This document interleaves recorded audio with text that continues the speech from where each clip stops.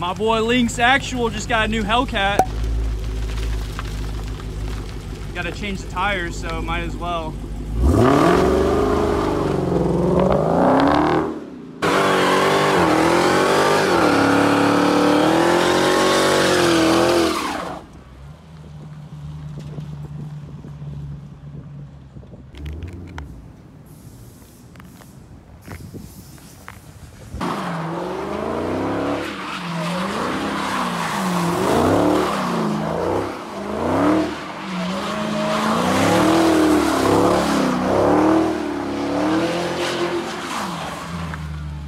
Yes, sir.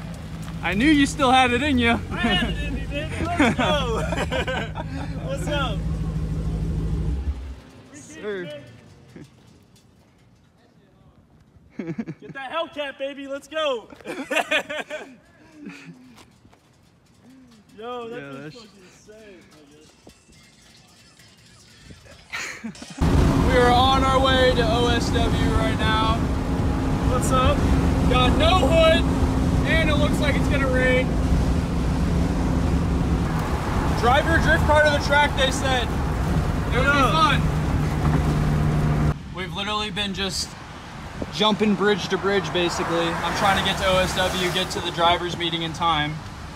But my car is getting a lot of water in it, which is sick.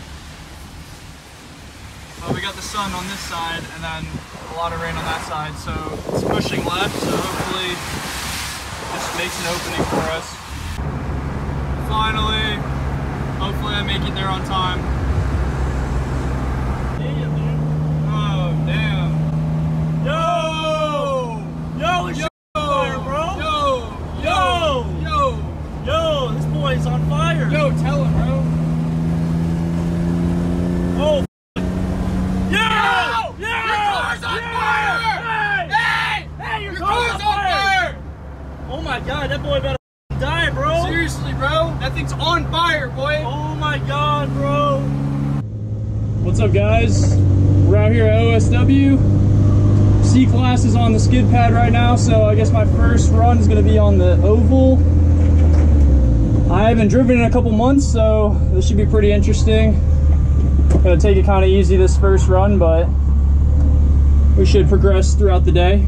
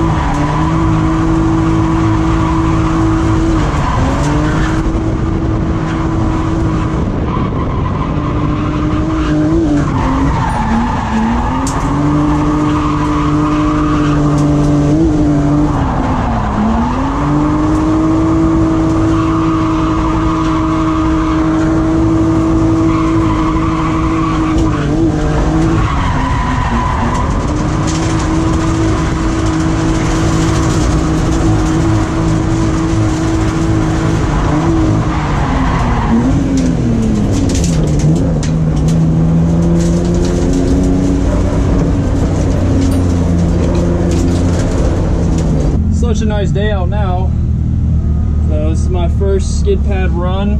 Handbrake seems like it works. It should be pretty interesting. It's just the the kidney bean, so typical OSW kidney bean, so shouldn't be too complicated.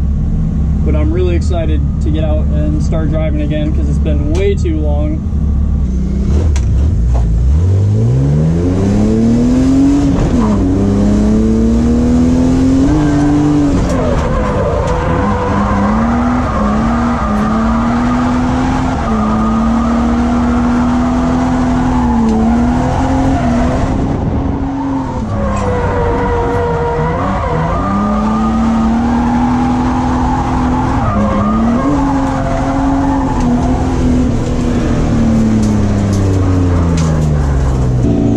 driving Thomas's car today. I'm gonna follow him, give him a little bit of a gap, because this is his like first time driving the car basically. He's driven the car, but not in its current form.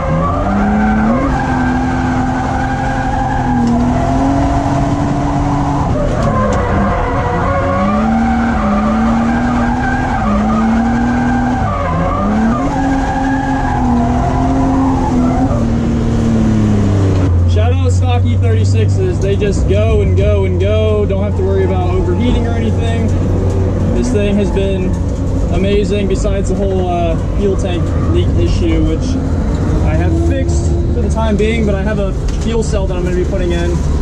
It's just I have to bring it to Tom's shop and weld some stuff up, so that's why it's taking forever. So hopefully I can get my own shop soon and just do all that stuff myself and not have to rely on other people.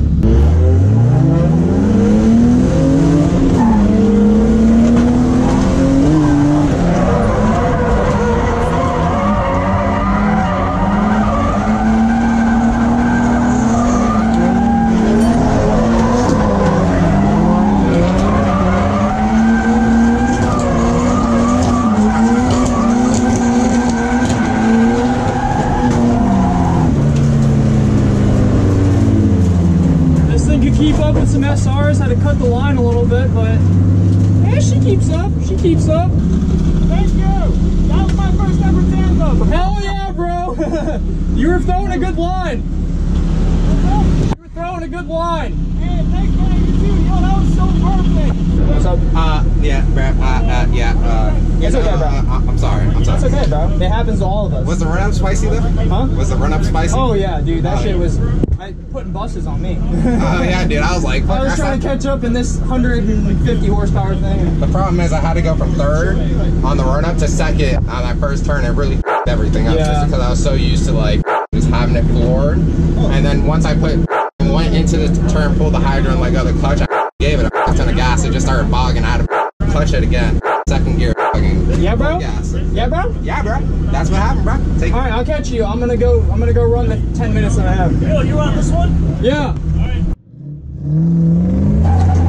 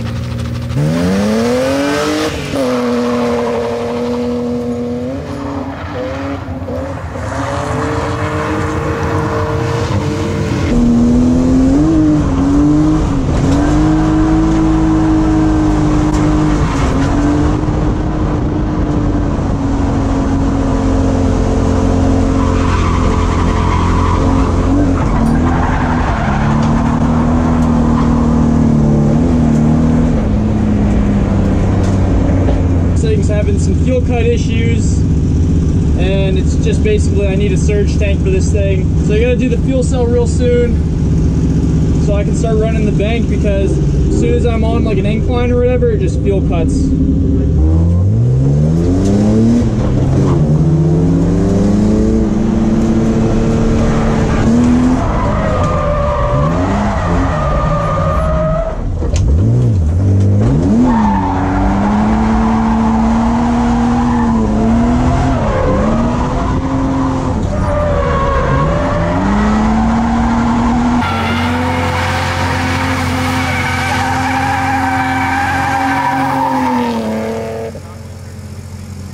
I'm glad we didn't hit that RX-7 though, because I don't know, I kind of saw them a little. If you just watch them drive, you can kind of see if they're just not very comfortable or whatever. Uh, I just back off. I'd rather just back off, even if they are okay, and not risk slamming my car into their car for one lap.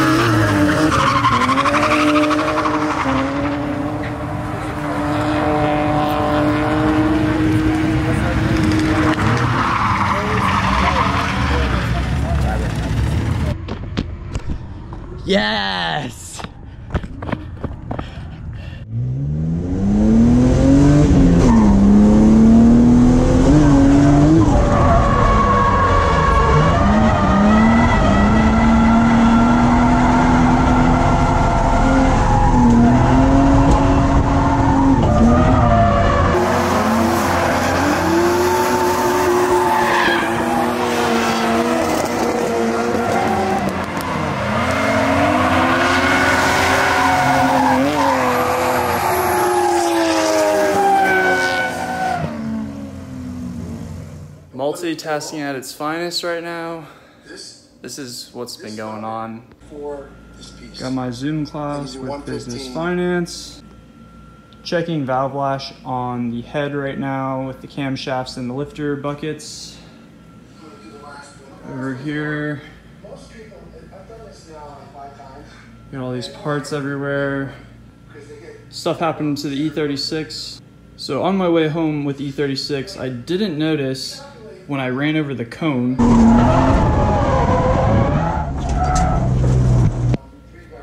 You can maybe see it right here that it tweaked the radiator. As you can see, it's not perfectly straight. Not a huge deal. It's not leaking any coolant out of here.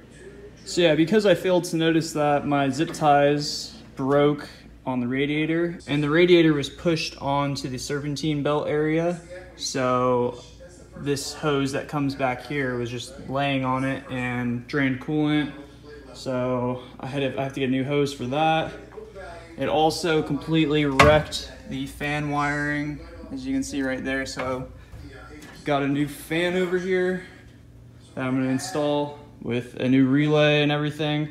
But yeah, that's what's going on with the E36. It was kind of hectic getting home at like two in the morning because I know a lot of you guys know that I drive this thing to the event and back home. So it got a little uh, iffy. I ended up getting this tape from a gas station and we were able to drain all the coolant, draw off the hose and then tape around it. And it slowed it down enough that I could get home with no fan. I don't even know how the car didn't overheat. So props to the E36. Drop a like for the E36 making it home still. Below the red line is the top part of the My number. man Sam Okay. killing it right now. I'm going to do that Being a math for you now. professor. it'll Alrighty guys, that's gonna be it for this video. I hope you understand why the video production's been a lot slower lately. I've just had a lot going on with school and I've been working. This build is not cheap and it's not gonna just pay for itself. So yeah, that's why it's taking a little bit longer for the JZ build. I'm doing the best I can to finish up with the valve lash and then I need to get an engine hoist to hoist the block onto a stand and then I can clean it all off. I'll record all that so you guys can see. Yeah, you got the style 32s on there because I'm gonna put the 67s on the E60. But that, that is my daily right now. The turbo coolant lines on it are completely shot, leaking coolant everywhere, so it's not drivable right now, so that's gonna be really fun. Hopefully I don't have to drop the subframe or whatever.